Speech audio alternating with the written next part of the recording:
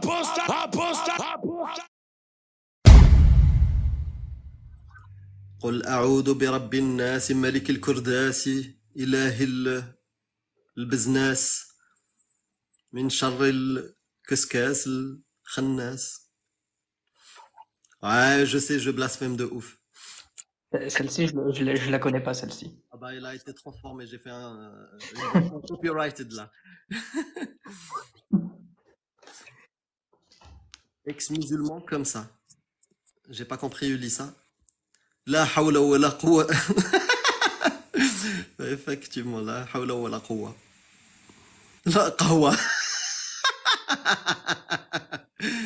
Ah, il est marrant lui. Euh, alors, qu'est-ce qu'il dit? Les musulmans te saluent et te souhaitent le meilleur chemin, Inch'Allah, tu n'auras pas notre haine. Eh ben, merci beaucoup, Kams. J'aime beaucoup les, les gens comme toi. Euh, pourquoi ce besoin de partager votre décision? Vous avez le droit de croire et pas, et pas, c'est personnel. Euh, personnel, euh, oui, mais on a la liberté d'expression, de, de parler de ce qu'on a envie. Je peux parler de foot, je peux parler de, je sais pas, de musique et je peux parler de religion parce que c'est une idée comme une autre. Et je, bah, je saisis ma liberté de, d'expression et je l'utilise comme je veux. J'ai envie de parler d'islam, je- j'en parle. Voilà, quoi. Et je, j'interdis à aucun musulman ou chrétien de parler de sa foi. J'aurais moi, une question à la personne qui vient de dire ça. Est-ce qu'elle dirait autant de l'imam qui fait un prêche? Est-ce qu'elle dirait autant euh, d'une personne qui parle de l'islam dans une vidéo? Euh, de la provocation qui n'a pas lieu d'être. Je ne sais pas dans quel pays tu vis, mais euh, en France, le, blasphème n'existe pas. En fait, on a le droit euh, de critiquer une religion, d'en parler, euh, voilà, et, la liberté de conscience va dans les deux sens. Va dans le sens où tu as le droit d'avoir n'importe quelle religion et tu as le droit de parler aussi de ta non-religiosité aussi. Les gens ont le droit de ne pas croire encore heureux. Tout à fait, oui, bien sûr. Et on a le droit euh, de, de, de, parler de notre non-croyance. Aujourd'hui, si tu vas sur euh, n'importe quel réseau, les croyants parlent à longueur de journée de leur croyance et pourquoi ils croient et pourquoi c'est magnifique. Pourquoi moi, je n'aurais pas le droit de parler de ma non-croyance? Voilà. Et si tu as envie euh, d'une meilleure interaction, ben, je t'invite à monter, on peut en discuter. Touda, accepté. Bonjour, vous m'entendez là? Bonjour Touda, on t'entend. C'est bon, tu as récupéré Ah, une connexion moderne. Tout à l'heure, tu étais avec une connexion de Quraysh. j'étais au sixième. Comment ça va les koufars? Alors, je voulais te poser une par, euh, question. par insultes, c'est quoi ce truc euh? C'est pas une insulte, koufar, c'est un honneur. Je plaisante. C'est un honneur de faire partie des koufars. Euh, alors, euh, Touda, euh, si, si tu veux bien, euh, moi je sais, je te connais, je, je sais que tu es ex-musulmane, donc si tu veux partager un peu avec nous les raisons pour lesquelles tu as quitté l'islam. En fait, c'est ça l'objet du live, c'est d'accueillir soit des ex-musulmans qui ont quitté l'islam, qui partagent avec nous rapidement leur expérience, soit des musulmans convaincus sunnites qui partagent leurs convictions et pourquoi. Voilà, et puis après, on, on pourra comparer, tu vois.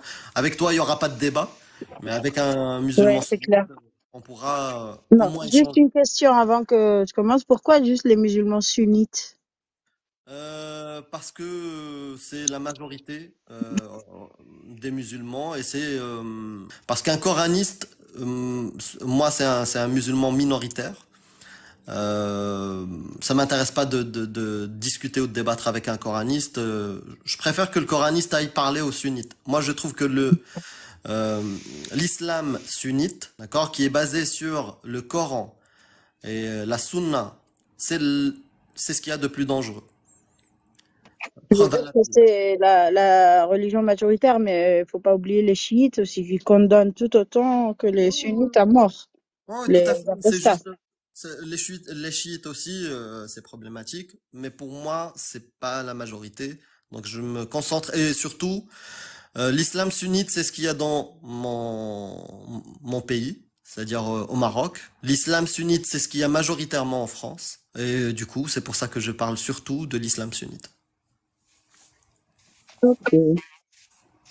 Bien reçu. Mais pour moi, les coranistes sont tout autant critiquables et démontables que les autres. Mais bon, ils restent, comme tu dis, gentils. Ils sont coranistes. De toute façon, ils sont considérés euh, tout aussi apostats que nous par les sunnites euh, radicaux. Voilà. Bah après, moi, je Donc, parle pas euh, des gens, en fait, parce que les gens, que ce soit les musulmans sunnites ou euh, euh, les chiites ou les coranistes, c'est des groupes euh, hétérogènes. Euh, ils sont tous différents les uns des autres. Moi, ce que je parle, c'est de l'islam sunnite. Et j'aimerais bien des représentants, des gens qui croient en l'islam sunnite, viennent discuter avec moi et on parlera islam sunnite, pas des musulmans. En tout cas, pour parler de mon expérience d'apostate, d'abord j'ai apostasié. D'abord parce que je suis une femme et j'ai deux, pour l'instant deux raisons. Et de deux parce que je suis une, un être humain. Et euh, parce, de trois, oui, je, parce que je suis pas raciste. parce que l'islam est raciste, et misogyne et sexiste. Donc pour aller vite, hein, donc euh, comme tu connais mon histoire, tu peux me poser des questions pour que je développe un peu euh, tel ou tel point. Après, euh, comme je l'ai raconté chez dans mon témoignage, euh, j'ai daté ma sortie réelle de l'islam parce que c'est vraiment un processus long. C'est euh, euh, le ramadan, quoi. Le jour où tu fais plus le ramadan, enfin, en tout cas pour moi, pour ma part, c'est au moment où j'ai. Mais attends, attends, je me pose des questions. Est-ce que, est-ce que être apostat, c'est l'annoncer à sa famille? Parce que là, je me pose cette question. Non. Est-ce que vous, ici, vous l'avez annoncé à vo- votre entourage euh, proche? Il y a deux questions. Famille. La première, euh, est-ce que euh, c'est le fait de l'annoncer à sa famille? Non. Je pense, moi, que, euh, en fait, on est apostat, ex-musulman ou non-croyant généralement à partir du moment où on ne croit plus. Voilà. C'est Mais moi, j'ai jamais cru euh, aveuglément à toutes les lois qui se sont imposées à moi en tant que femme. Donc même quand je me croyais croyante, tu vois ce que je veux dire? Ouais, mais tu te Donc croyais encore croyante. Tu te croyais encore. exactement, exactement, je me Voilà. croyais croyante. Voilà. Mais le moment où tu réalises que tu n'es plus croyante, c'est le moment où tu n'es plus croyante. Le moment où tu ne pratiques plus ce qui te retient dans cette euh, communauté de croyance, si tu veux, une vraie, je parle vraiment de la communauté de croyance. C'est euh, le ramadan, le partage du ramadan, le sens. même, euh, même au-delà de, de la pratique, hein, Touda. En fait, euh, tu peux être non pratiquant, mais garder une foi et une croyance en Allah, le paradis, l'enfer, et avoir même des remords, des choses comme ça, Oui, vois? ça aussi. Ça aussi, c'est vrai. C'est vrai. C'est venu euh, en même temps ne plus croire en l'enfer, mais je me, re- je me, rends- je me suis rendu compte récemment que, en fait, j'avais, j'ai, j'avais ou j'ai plus peur de la famille que de l'enfer, en fait. Ça fait longtemps que j'ai plus peur de l'enfer. Hmm. Et pourtant, je- j'ai gardé la peur de la famille, de la ré- réaction de la famille, puis de l'entourage, puis du risque de que qu'un membre de ma famille proche ou lointain soit cherche un passeport pour le paradis, puis qu'il me prenne pour cible. Tu vois, ça peut ça peut venir de n'importe. Donc euh, voilà, être apostat, c'est pas juste sortir. Euh, moi, c'est pour ça que je réponds à ceux qui nous disent mais pourquoi euh, vous sortez puis vous continuez à critiquer? Ben justement, c'est ça en fait. C'est-à-dire que euh, dedans t'es mal, puis dehors aussi t'es mal parce que t'es t'es menacé, euh, t'es pas t'es pas soutenu par ta famille déjà pour ce choix individuel qui devrait être euh, accepté par tout le monde. Moi, je le vois chez les chrétiens quand un chrétien sort de du christianisme, euh, sa famille le rejette pas. Pourtant, euh, il l'annonce, euh, il peut critiquer la religion chez lui, dans sa famille, puis chacun fait ce qu'il veut. Hmm. Et ça, on n'y arrive pas, à- on n'est pas encore arrivé là. D'accord. Donc, il y a- il y a- comme tu vois, comme je t'ai dit, euh, on- je pense qu'on est d'accord sur ça. Euh, le, se considérer apostat, c'est un chemin personnel. À un moment donné, quand on ne croit plus, on ne croit plus, c'est fini. Mm. Maintenant, on est clairement, souvent ou euh, régulièrement, euh, les gens qui ne croient plus sont confrontés à des soucis, si on peut appeler ça, des problèmes des fois familiaux, une mort sociale ou, à, à plein de problématiques, un danger qui peut être réel, surtout si on commence à l'ouvrir. Euh, euh, donc ça, oui, je suis entièrement d'accord. Sur euh, le cas des, chrétiens, bah, j'aime pas, même si je, pense que généralement tu as raison, mais j'aime pas essentialiser parce que je connais pas tous les chrétiens. Euh, parce que je connais mais pour aussi dire des... que les chrétiens ont réglé ce problème de, du blasphème. Ils ont déjà eu ça, Oui, oui, le les chrétiens. blasphème. Mais euh, après, dans les familles, euh, il y a encore quelques familles où ça peut être un sujet. Maintenant, généralement, tu as raison. Après, c'est que comme, tu vois, le- ils sont dans, dans la table du repas du, du midi en famille et il y en a un, il dit- ils sont tous chrétiens et il y en a un qui dit ah c'est bon moi j'y crois plus, euh, je suis athée et le père qui dit bah ok passe-moi le sel, tu vois. C'est ça. Ça, j'aimerais bien qu'on arrive à ce point-là. Ok. Tu crois plus? Ok. Tu vas venir manger chez moi ou pas? Tu vois, je- Après, il faut pas nier que, par exemple, le- dans le cercle des apostats, on a des expériences totalement différentes. Et euh, c'est minoritaire, mais ça arrive aussi même chez les musulmans, que ça soit accepté, euh, voilà. Mais, mais majoritairement, c'est pas si facile que ça, clairement. c'est clair. Après, il y a aussi la question, euh, toi, tu as déjà fait un très bon, très bonne vidéo là-dessus sur euh, la circoncision, par exemple. Moi, jusqu'à maintenant, je suis encore confrontée à cette question par rapport à ma famille.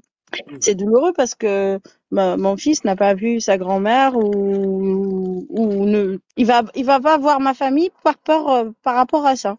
Parce qu'à chaque fois, on me propose, on m'appelle toujours pour me proposer de, de lui faire ça, de, oui, je t'ai trouvé quelqu'un, tu peux aller voir, euh, voilà, quelqu'un qui peut le faire, tu vois ce que je veux dire? Mais j'ose pas dire non. Ah. Les gens, les gens qui demandent de monter, je l'ai dit tout à l'heure, je ferai monter une personne à la fois. Euh, voilà. Euh, sur la circoncision, Touda, je suis, euh, bah, tu vois, comme plein de, décisions. Soit on accepte, soit on rejette. Il n'y a pas un juste milieu. Il n'y a pas, tu vois. Donc moi, clairement, j'ai un enfant, un garçon. Euh, bah, je rejette cette pratique-là et peu importe qui euh, qui, qui vient euh, me l'imposer, c'est mort. Et ça peut être une cause de rupture avec euh, ma famille ou quoi que ce soit parce que j'ai l'obligation en tant que parent de protéger mes enfants. C'est le choix que j'ai fait, mais c'est triste de, de le couper de cette part de sa famille, tu vois, la plus nombreuse. Ouais, Donc, voilà, tu vois, il a plein de cousins, ben, il va jamais les voir, il va jamais jouer avec eux. Ouais, Bah, triste, tu vois, c'est dans ce sens-là, pour te dire jusqu'où ça va aller. C'est pas parce qu'on est apostat, ça y est, on a arrêté de croire, croire et ça nous touche plus. C'est, très difficile. Enfin, chacun, comme tu dis, a sa, son expérience, euh, mais, mais les raisons restent les mêmes. Ça reste la religion.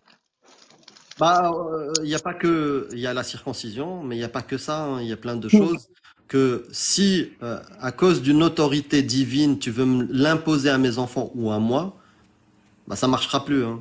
Ça peut pas. Moi, euh, en tout cas, me concernant, peut-être peut être un peu cool, mais concernant mes enfants, C'est ça. il est hors de question que j'accepte quoi que ce soit qui vient d'une autorité divine magique pour euh, mutiler ou laver le cerveau de mon enfant. C'est ma limite.